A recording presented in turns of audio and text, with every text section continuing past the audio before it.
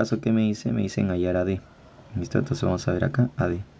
Me dicen que AC vale 4 y me dicen que AB es igual a quien a CD. Ya pues, como hace rato habíamos dicho, eh, vamos a prolongar por acá. Y cuando tú prolongas este ángulo viene la suma de estos dos ángulos, que sería 3 alfa.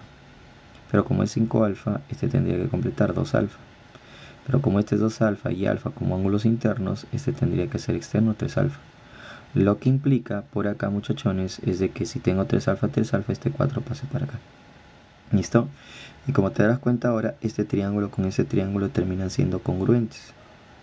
¿Listo? Ahí está, terminan siendo congruentes. ¿Por qué caso? Ángulo, lado, ángulo. Ángulo, lado, ángulo. O sea, por el caso ala.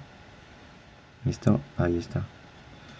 Muy bien, entonces eh, vemos de que el 2 alfa mira al 4, entonces este 2 alfa tiene que mirar al 4.